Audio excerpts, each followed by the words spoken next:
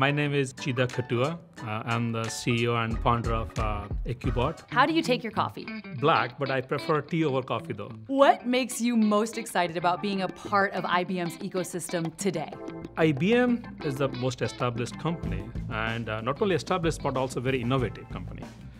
And what we are doing, actually, we are kind of pushing the limit uh, of utilizing AI, huge amount of data, doing it in a much more significant way. And we are, we are also in the finance industry where trust, reliability, all those things are important. So uh, to be at the edge of the leading edge of technology and doing things which is vital for the finance industry, IBM makes that happen for us. That's why I'm so excited to be part, uh, part of this ecosystem. And what makes your partnership with IBM so exciting? We started as a very small company. And since then we have grown significantly. Right now we are powering more than $4 billion asset and supporting larger financial institutions like hsbc deutsche bank many others. We are covering globally many different countries many different languages.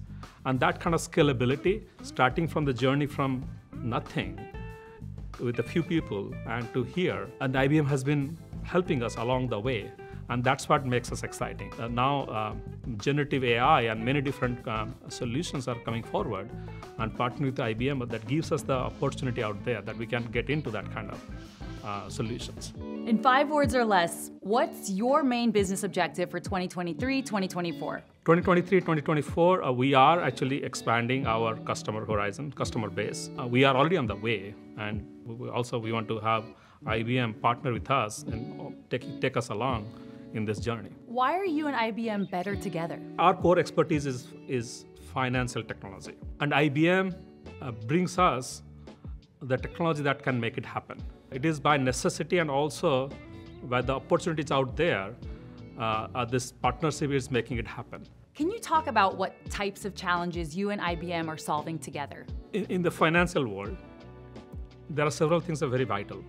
So one is uh, trust. We have to sow the trust in our system. We have to sow the trust in the processing our data. Similarly, we also have to uh, sow what are the signals telling us. We can sow under the hood, okay, this is the observability of the prediction. This is the explainability why the signals are predicting that. And these are really difficult challenges. And there are not so many solutions out there. And so working with IBM that, that we could have to make it happen. All right, so since you mentioned AI, I'm going to ask you, what are you more excited about, AI or quantum computing? Both. Actually, the, the uh, AI, along with quantum computing, will be the key in future. Uh, uh, quantum computing is much more powerful. Uh, actually, really will make the AI go free. Uh, it, it, increases capacity, uh, capability like exponentially. So we are very excited. Hi, my name is Chida Khatua, and you are watching Common Ground.